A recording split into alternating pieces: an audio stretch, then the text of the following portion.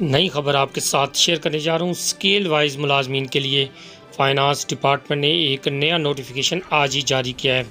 उसकी डिटेल है, शुरू से लेकर आखिर तक ज़रूर देखिएगा। लेकिन उससे पहले अगर आपने चैनल को सब्सक्राइब नहीं किया तो इसको ज़रूर कर लीजिएगा।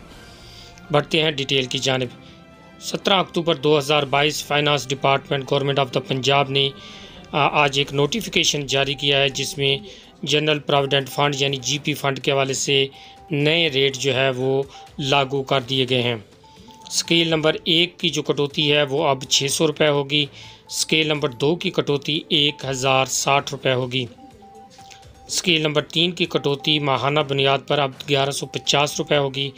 स्केल नंबर चार की कटौती माहाना बुनियाद पर बारह सौ तीस रुपये जी पी फंड की मद में कटौती होगी। स्केल नंबर पाँच की तेरह सौ तीस छठे स्केल की चौदह सौ बीस, सातवें स्केल की पंद्रह सौ, आठवें स्केल की सोलह सौ, नौवें स्केल की सत्रह सौ और दसवें स्केल की कटौती महाना जीपी फंड की मद में अठारह सौ रुपये होगी।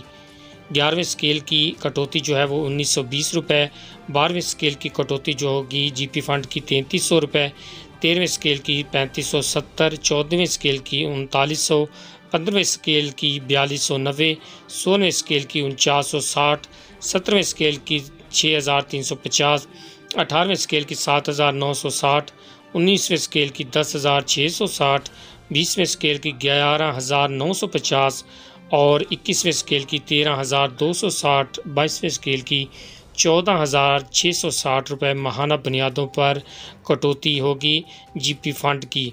यकम नवंबर 2022 को इसका इतला कर दिया जाएगा, जो तनख्वाह अक्टूबर की यकम नवंबर को मिलेगी, उससे ये कटौती कर ली जाएगी। सरकारी मुलाजमीन अब ये परेशान ना हों कि ये कटौती क्यों बढ़ चुकी है तो उस हवाले से नए स्केल जो है रेट हैं, वो रिवाइज़ कर दिए गए हैं जीपी फ़ंड के हवाले से, और अब तनख्वाहें जो हैं वो कम मिलेंगी।